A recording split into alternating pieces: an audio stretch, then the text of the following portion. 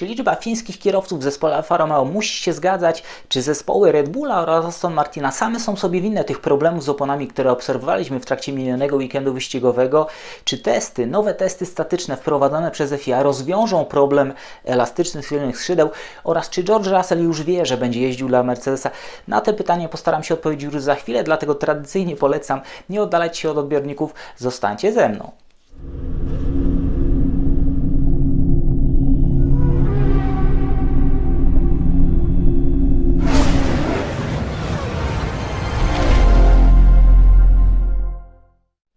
Jest wtorek, 15 czerwca, Daniel Biały. Echa Padoku. Po tych piłkarskich, wątpliwych emocjach pora wrócić na właściwe tory, a ten tor, który przed nami to francuski tor Ricard. Tor, na którym wchodzą do użycia nowe testy elastyczności tylnych skrzydeł.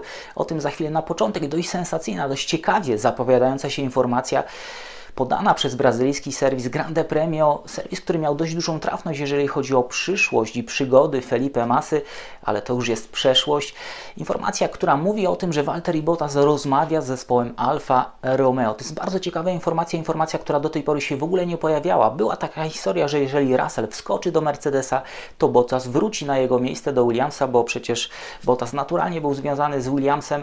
Natomiast ta historia brazylijskiego serwisu nawiązuje czy odwołuje się do wcześniejszej wcześniejszej kariery Walteriego Bottasa i dość dobrej znajomości z szefem zespołu Alfa Romeo, Frederikiem Wasserem. Ciekawy wątek, bo gdyby Kimi Raikkonen kończył karierę, to na jego miejsce tak doświadczony kierowca obok Antonio Giovinazziego byłby dość ciekawą zdobyczą. Oczywiście patrzymy na ten fotel w Alfie Romeo również w pewien sposób przez pryzmat Roberta Kubicy, więc warto mieć świadomość, że również Valtteri Bottas może się upominać o ten fotel, bo na froncie czy na horyzoncie nie widać gdzieś drugiego zdolnego kierowcy z Akademii Ferrari, który mógłby się tam pojawić, choć Fred Wasser wielokrotnie mówił, że on patrzy właśnie w kierunku tych młodych, zdolnych, ale Bottas oprócz zdolności, doświadczenia, mógłby przynieść ze sobą również kilku sponsorów. O tym się nie mówi. Bottas ma swoje dość spore zaplecze sponsorskie, może nie aż, aż tak ogromne, ale taki zespół jak Alfa Romeo z chęcią przygarnie kolejnych sponsorów, którzy pojawią się na samochodzie, na kombinezonach kierowców. Bardzo ciekawa historia, której się tak naprawdę nie spodziewałem. Nie łączyłem Bottasa z Alfą, bo nie było żadnych punktów, które pozwalałyby łączyć e, te kropki czy tych kropek, które tworzyłyby pewne linie. Zobaczymy, jak ta historia się rozwinie, a historia się rozwija, bo jest coraz więcej sugestii, że George Russell już wie, że będzie jeździł dla Mercedesa, że Valtteri Bottas wie, że straci ten fotel kierowcy wyścigowego w Mercedesie. George coraz bardziej śmiało mówi o tym, że ta przyszłość wyjaśni się, powinna się wyjaśnić. Do tej pory siedział cicho, coś się ewidentnie zmieniło. Również całe środowisko Formuły 1, w tym Helmut Marko twierdzi, że to jest czas na to, żeby uwolnić Russella z tego wolnego Williamsa, dać mu w końcu tego Mercedesa i zrobić taki prawdziwy sprawdzian. Jeżeli tam jest talent, ten talent zabłyśnie jeszcze na tle Louisa Hamiltona, człowieka, który no, spotkał godnego rywala tylko w osobie Nico Rosberga, ale Rosberg po wygranym sezonie nie chciał się mierzyć po raz drugi, nie chciał rewanżu, to też no, pozostawia pewien niedosyt, jakby to wyglądało w kolejnym sezonie, kiedy starłby się Nico Rosberg jako mistrz świata i Lewis Hamilton, człowiek, który ma coś do udowodnienia. Russell coraz bliżej tego Mercedesa, ale oczywiście dostanie kluczyki wtedy, kiedy będzie to oficjalnie ogłoszone. W ten weekend, co było ogłoszone już jakiś czas temu, do użycia wchodzą nowe testy elastyczności tylnych skrzydeł, testy, które mają coś zmienić, ale czy zmienią, mam pewne wątpliwości, a na początek krótka lekcja, jakby to miało wyglądać, czy jak to będzie wyglądało już we Francji, ale żeby Wam to wszystko dobrze wytłumaczyć, krótka przerwa i spotkamy się pod nieco innym kątem. Długo zastanawiałem się, jak Wam pokazać, jak Wam wytłumaczyć te różnice w testach elastyczności tylnych skrzydeł, różnice między tym, co było, a tym, co jest. I wtedy obejrzałem materiał włoskiej telewizji Sky, gdzie dziennikarze tej stacji wytłumaczyli to w najprostszy możliwy sposób przy użyciu markera oraz białej kartki. Właśnie podeprę się ich pomysłem. Zacznę od narysowania tylnego e, skrzydła. To tylne skrzydło najlepiej chyba zacząć rysować właśnie w taki sposób od dwóch elementów obok siebie. Narysujemy sobie teraz ten górny płat tylnego skrzydła z małą przerwą, dolny płat tylnego skrzydła. No i tu mamy ten element podpierający, bardzo ważny element podpierający, który dzisiaj odgrywa bardzo kluczową rolę. Górny element, tu jest jeszcze ten mechanizm DRS-u, który to wszystko obsługuje. No i teraz kilka słów na temat tych testów statycznych, które są wykonywane przez FIA. One są wykonywane od pewnego czasu. Jeden z testów, który jest wykonywany dzisiaj, zakłada, że do tego górnego płata tylnego skrzydła, czy na to tylne skrzydło zostanie nałożona siła równa 750 Newtonom. Narysujemy sobie to właśnie z tej strony. To jest siła równa 750 Newtonom, co można w przybliżeniu zapisać jako 75 kg. I po przyłożeniu takiej siły równomiernie do całego górnego płata tylnego skrzydła musimy osiągnąć czy zmieścić się w pewnym limicie, limicie odkształcenia nie większym niż 3 mm. Tak jest to rozegrane teraz. Jak to wszystko będzie wyglądało w przypadku tych nowych przepisów, to pokażę z drugiej strony. Te wartości się zmieniają. Te wartości teraz będą wynosiły w przypadku tego nowego testu 1000 newtonów, co możemy w przybliżeniu zapisać jako 100 kg. Jeżeli weźmiemy pod uwagę, że te wartości sił działających na tylne skrzydło liczone są w tonach, te testy w zasadzie są testami naprawdę takimi podstawowymi, które nie dają nam pełnego obrazu sytuacji. Przy przyłożeniu tej siły 1000 newtonów, to odkształcenie, które może zajść, ma się nam zmieścić w tolerancji 1 mm. Więc mamy tutaj różnicę, jeżeli to sobie zapiszemy e, w taki, w taki sposób, plus 250 newtonów. Markery nie chcą za bardzo ze mną współpracować, a próbę mam w zasadzie tylko jedną, 250 newtonów albo około 25 kg.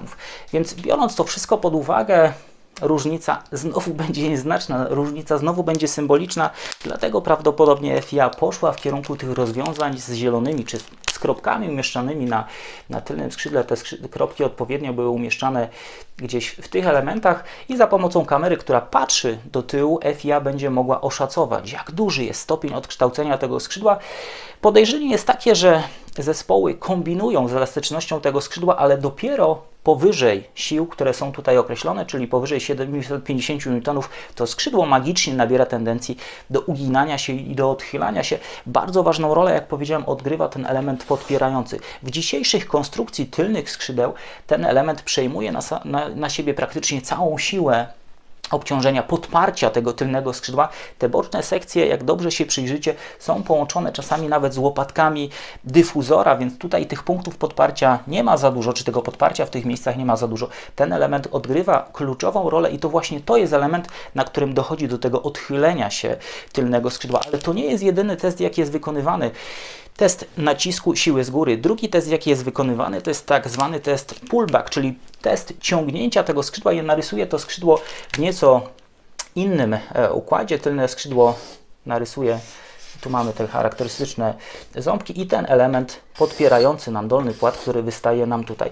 Pullback test to jest test, który wykonywany jest za pomocą specjalnego narzędzia. Tu podpinane jest, umieszczane jest specjalne narzędzie, mocowane linki do tego górnego płata tylnego skrzydła i wykonana jest taka próba ciągnięcia tego, tego skrzydła. W tym momencie ta siła przyłożona do tego testu to jest siła mierzona wartością, czy określona wartością 500 newtonów, czyli około 50 kg. W przypadku przyłożenia takiej siły dzisiaj ten stopień odkształcenia się skrzydła, załóżmy, że narysujemy go, go tutaj, jest określony jako jeden stopień o tyle to skrzydło może przesunąć nam się do tyłu, natomiast w tym nowym teście te wartości ulegną zmianie, te wartości zostaną zwiększone znowu o 250 N, było 500 N, będzie 750 N, co odpowiada wartości około 75 kg przyłożonej siły, więc znowu mamy zwiększenie wartości o około 250 N, czyli plus 250 N lub plus 25 kg, czyli plus 250 newtonów, newtonów lub plus około 25 kg. Dlaczego FIA sięga po te kropki? Dlaczego FIA nie jest w stanie użyć większych sił? Tutaj bardzo ciekawą wypowiedź e, um, usłyszeliśmy jakiś czas temu z ust e, Antonego Davidsona, który powiedział, że FIA zwyczajnie nie stać na takie powiedzmy łóżko testowe, czy na taki stojak testowy, który byłby w stanie wygenerować większe siły. Dlatego FIA symbolicznie powiększa te wartości, ale skupia się głównie na monitorowaniu tych e, elementów e, nanoszonych na tylne skrzydła. To one tak naprawdę będą wyznacznikami. Mam nadzieję, że nie zanudziłem Was tym wykładem. Biorąc pod uwagę moje możliwości techniczne oraz chęci, to było takie chyba najlepsze połączenie tego, czym aktualnie e, dysponuję. Może w przyszłości to się nieco zmieni. Mam nadzieję, że wiecie, na czym to wszystko będzie polegało, jaka jest symbolika, tak naprawdę symbolika tej zmiany. A teraz kolejny, bardzo ważny temat techniczny, bo dzisiaj, kilkanaście minut temu, firma Pirelli opublikowała oświadczenie prasowe dotyczące informacji związanych z tym śledztwem. To, co ujrzało światło dzienne, to, co my otrzymaliśmy jako kibice, jest tylko namiastką tego, co otrzymała FIA oraz zespoły. Jaki jest finał, jakie są wnioski Pirelli, to jest to, o czym Wam mówiłem, co sygnalizowałem w ostatnim materiale. Pirelli znalazło, czy sugeruje, że winą za te awarie, do których doszło, winę za to, do czego doszło, ponoszą same zespoły, które kombinują z ciśnieniem z oponami. W przypadku e, Aston Martina to jest dość ciekawa historia, bo to był komplet, z którym ruszał e, Lance Stroll do wyścigu, komplet kontrolowany przez specjalistów Pirelli na starcie, czy nawet przez specjalistów FIA na starcie tego wyścigu. Z kolei w przypadku tego drugiego samochodu, samochodu Maxa Verstappena, to już był drugi komplet. To właśnie tego drugiego kompletu dotyczy bardzo wiele historii, które powstały w międzyczasie. Mówi się, że jest pewna dziura w egzekwowaniu tych przepisów dotyczących ciśnień w oponach.